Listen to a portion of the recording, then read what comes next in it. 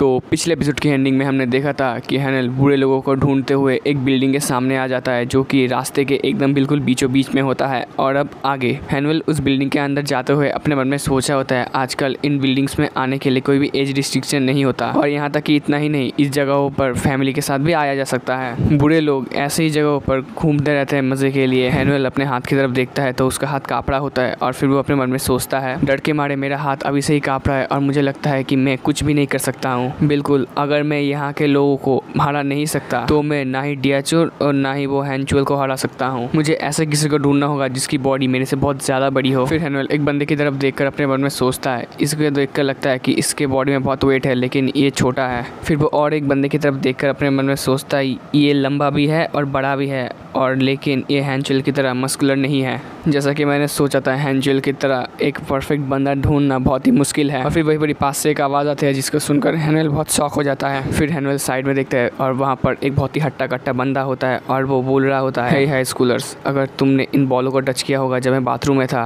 तब तुम मरने वाले हो। फिर हैनवेल उसको देखकर अपने मन में सोचता है, जैसा बंदा मुझे चाहिए था, लेकिन नहीं, ये तो उससे भी ज़्यादा बड़ा है। फिर एक बंदा उस बड़े वाले बंदे से कहता है, अरे बड़े भाई, आपको क्या लगता है कि इस रीजन के सबसे बड़े ऑर्गेनाइजेशन के तीन नंबर वाले को कोई टच करेगा? फिर दूसरा वाला उससे कहता है, अपना मुँह बंद रखो, क्या तुम्हारे पास कोई पेपर टावल है यूज़ करने लायक? और फिर वो बंदा चिल्ला का किसी से बोलता है, जल्दी से आओ, अपने बड़े भाई को वो टावल दो। और फिर दिखाते हैं, वो बंदा होता है टी साइक और वो लेकर आ रहा होता है, और फिर आते आते वो रास्ते में गिर जाता है। फिर टी साइक उठकर उस बंदे से माफ़ी मांगते हैं, बोलते हैं, मुझे माफ़ कीजिएगा, मुझे आने में देर होगी, और ये लीजिए आपका टावल। टी साइक की बात सुनकर वो बंदा कुछ देर के लिए खामोश हो जाता है, और फिर बोलता है, क्या तुम ये कहना चाहते हो कि मैं वो टावल यूज़ करूँ, जो अभी अभी ज़मीन पे गिरा है? टी साइक उसकी ये बात सुनकर बहुत ही डर जाता है, और फिर वो बंदा बोलता है, क्योंकि मैं तीन नंबर पर हूँ, इसलिए तुम मुझे क्या इग्नोर करोगे? फिर टी साइक रोते उसे बोलता है, मुझे माफ़ कीजिएगा, मैं एक नए टावल के साथ जल्दी से वापस आता हूँ। प्लीज़ मुझे मत मारिए। फिर वो बंदा गुस्से में टी साइक को मारने के लिए आता है और बोल रहा होता है, तुम जैसे किसी कीड़े की हिम्मत भी कैसे मुझे इग्नोर करने की? और फिर दिखाते हैं पीछे से किसी ने टी साइक का नाम पुकारा होता है और इसे सुनकर वो बंदे बोलते हैं, क्या? फिर दिखाते हैं पीछे पीछे होता है अपना हैनुअल फिर हैनुअल टी साइक से पूछते हैं, हे टी साइक वहाँ पर जो बंदा है, क्या वो एक बुरा इंसान है? हैनुअल की बात सुनकर टी साइक और वो हाई स्कूलर बिल्कुल शौक हो जाते हैं। फिर वो बड़ा वाला बंदा बोलता है, मैंने तुम जैसे किसी बेकार हाई स्कूल को अपने पूरी ज़िंदगी में कभी नहीं देखा।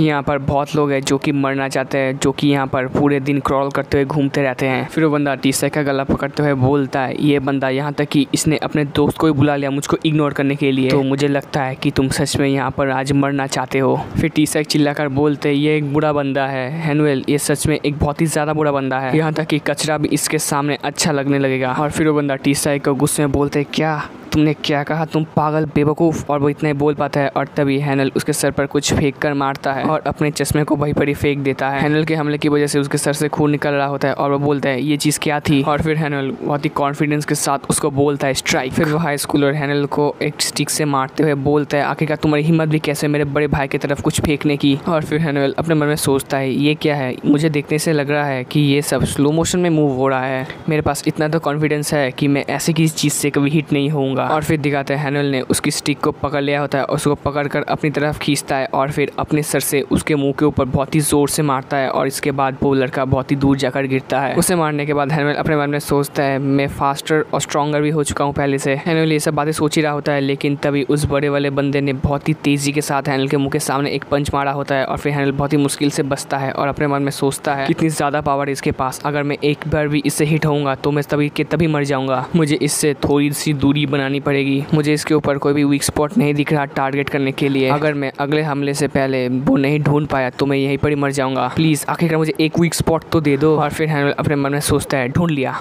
और फिर वो अपने बहुत ही तेज़ी के साथ उसकी तरफ़ बढ़ता है। और फिर दिखाता है मैनुअल के पास्ट का सीन जहाँ पर वो ट्रेनिंग कर रहा होता है। और फिर वो अपने मास्टर से पूछता है मास्टर क्या आपको सच में लगता है कि अगर मैं ऐसे करता रहा तो मैं अपने से बड़े किसी ओपोनेंट को हरा सकता हूँ? मास्टर बोलते हैं, हर कोई अपने वीक स्पॉट को कभी ना कभी तो दिखाता ही है। और तब सब तुम्हारे ऊपर होता है कि तुम अटैक करने की उस अपॉर्चुनिटी को ना छोड़ो और इसलिए तुम अभी ये प्रैक्टिस कर रहे हो ताकि तुम अपने पंचेस को बहुत ही तेज़ी से मार सको। दूसरे शब्दों में इसे कहते हैं आखिरी हमला। जब तुम तुम्हारे स्पीड को एडवांटेज के लिए यूज़ कर गए तब तुम्हारे पास जीतने का एक बेटर चांस होगा। फिर हनर बोलता है तो इसलिए आपने मेरे हाथों पर ये रबर बैंड बांधा हुआ है। लेकिन उसके जैसे स्ट्रॉन्ग लोगों के पास भी क्या अपना वीक स्पॉट होगा? फिर मास्टर हँसते उसको बोलते उसके घुटने। वो लोग जिनके वेट सबसे ज़्यादा होते हैं, उनके नीज के ऊपर बहुत ही प्रेशर रहता है। लेकिन उन लोगों के घुटने के मसल भी बहुत स्ट्रांग होते हैं। लेकिन वो लोग तब तब नहीं बच पाएँगे जब उनके घुटनों के ऊपर डायरेक्ट अटैक होगा। अगर तुम उन लोगों के घुटने के ऊपर एक अच्छा सा हिट कर पाते हो तो तब तुम्हारे पास एक अपॉर्चुनिटी होगी अपना एक आखिरी हमला करने के लिए। फिर दिखाते हैं प्रेजेंट का सीन जहाँ पर हैनल उस बंदे को मारने के लिए आगे बढ़ता है और बोल रहा होता है, चलो भी मुझे अपना एक वीक स्पॉट दिखाओ। फिर वो बंदा टी साइक के ऊपर पैर रखते हुए बोलता है, तुम मेरे रास्ते में आ रहे हो, बद्दे से कीड़े। फिर हैनल बोलता है, मैं देख सकता हूँ, उसका पूरा वेट उसके एक ही पैर के ऊपर है। फिर हैनल बहुत ही तेज़ी के साथ जाकर उसके घुट्टों पर मारता है और जिससे उस बंदे का थोड़ा सा मुँह खुल जाता है और बोलते हैं वाह, तुम्हारा मुँह खुल गया। अब ये मेरा चांस है। ये अब मेरा चांस है। मेरे इस आखिरी हमले का। हैनुअल उसको पंच मारने के लिए आगे जा रहा होता है। और फिर वो बंदा अपने मन में सोचता है, आखिरकार एक हाई स्कूलर का पंच मेरा क्या ही बिगाड़ लेगा? लेकिन जब उसको हैनुअल का पंच लगता है, उसकी सिट्टी पिट्टी गुल हो जाते हैं और वो बोलता है, अब ये क्या है? फिर हैनुअल उसको मारने के बाद अपने मन में सोच रहा होता है, मुझे लग रहा है कि मेरा हाथ एक रॉकेट है। या फिर कुछ ऐसा जिसको अब और दबाया नहीं जा सकता। अब मुझे पता चल रहा है, एक स्ट्रॉन्ग हाथ का महत्व क्या होता है। लेकिन वो बंदा हैनुअल के हमले से संभल जाता है और फिर हैनुअल सोच में पड़ जाता है। ऐसा कैसे हो सकता है? और फिर हैनुअल अपने मन में सोचता है इस मोमेंट के आने से पहले मुझे कोई आइडिया ही नहीं था कि ऐसी फाइट्स जो लोग करते हैं उनको आखिरकार कितना डर लगता होगा या फिर वो लोग क्या फेस करते होंगे? और फिर वो बंदा हैनल को उठाकर दूर पटक देता है जिससे हैनल पीछे जाकर किसी चीज़ से टकराता है और उसके मुँह से खून निकलने लगता है। फिर वो बंदा हैनल के पास जाकर अपना पैर उठाकर हैनल से बोलता है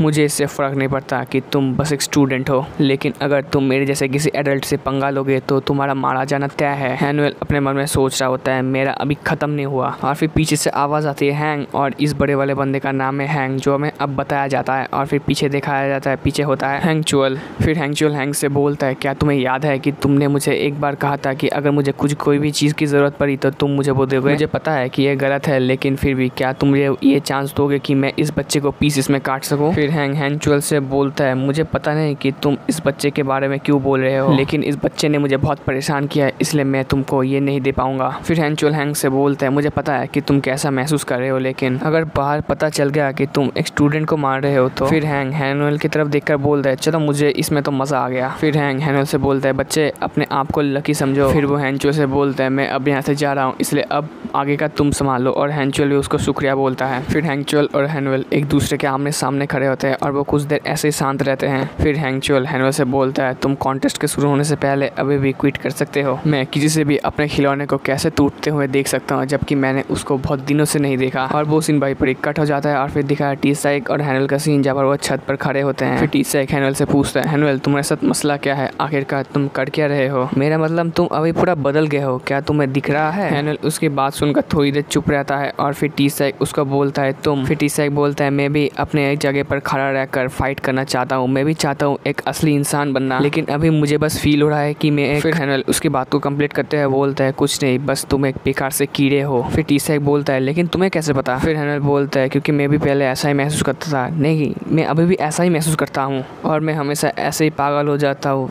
जैसा कि अभी। ये ऐसा नहीं है कि मैं अचानक से ही हिम्मत वाला बन गया हूँ। ये इसलिए है क्योंकि मैं अपने इस बग जैसे फीलिंग से बाहर निकलना चाहता हूँ। अपने अंदर की इस गिल्ट फीलिंग को मिटाने के लिए मैं वो सब करूँगा जो भी मुझे करना पड़े। इससे फ़र्क नहीं पड़ता कि वो कितनी भी मुश्किल हो। मुझे अभी पता नहीं कि मैं ऐसा कैसे हो जाता हूँ। मैं ये नहीं बोल सकता कि यहाँ पर जो कुछ हुआ वो सच है या फिर झूठ? फिर तीसरा खैनल से बोलता है, लेकिन अब मैं क्या करूँ? जब तुम मेरे आसपास नहीं हो गए, तुम्हारी वजह से मैंने उसको एक पीस ऑफ़ सीट बोल दिया मतलब कचरा। इसलिए अब से तुम्हें इसकी रिस्पॉन्सिबिलिटी लेनी होगी। इसलिए आज से तुम्हें मुझे प्रोटेक्ट करना होगा और हैनुअल ये बात सुनकर एकदम शौक हो जाता है। फिर टीसा बोलता है, ये सब इसलिए हुआ क्योंकि तुमने मुझसे पूछा था कि वो एक बुरा बंदा है या नहीं। लेकिन आखिरकार में ये सब इसलिए हुआ क्योंकि हम लोग दोस्त हैं। हैनल को उसकी बातें अभी भी समझ नहीं आ रही होती। और फिर साइड से एक आवाज़ आती है जो कि हैनल को पुकारती है और फिर दिखाते हैं, वहाँ पर होते हैं मास्टर और मास्टर बोलते हैं। तुम यहाँ पर अब क्या कर रहे हो जब तुम्हारे पास एक स्पेशल ट्रेनिंग है करने के लिए? स्पेशल ट्रेनिंग के बारे में हैनल को कुछ पता नहीं होता। वो बोलता है स्पेशल ट्रेनिंग लेकिन वो क्या है? फिर मास्टर बोलते हैं, आज से शुरू करके कॉन्टेस्ट जब तक खत्म नहीं हो जाता तब तक। तुम बस बहुत सारा खाओगे और सोओगे। इसलिए अब जल्दी से अंदर चलो और थोड़ा सा सो जाओ। फिर हैनल हैनल के पूछते हैं, क्या मुझे बस खाना और सोना है? फिर हैनल बोलता है तो ऐसे ही मैं बस खाता और सोता रहा कॉन्टेस्ट शुरू होने से पहले तक। दो दिन बिना प्रिपरेशन के खाने और सोने के बाद आखिरकार बुक कॉन्टेस्ट का दिन आ ही गया। तो अगले एपिसोड में हम देखेंगे कि हैनल की फाइट हैंचुल के साथ शुरू हो जाते हैं। तो आज के लिए इतना ही। मिलता है नेक्स्ट वीडियो में। तब तक के लिए बाय बाय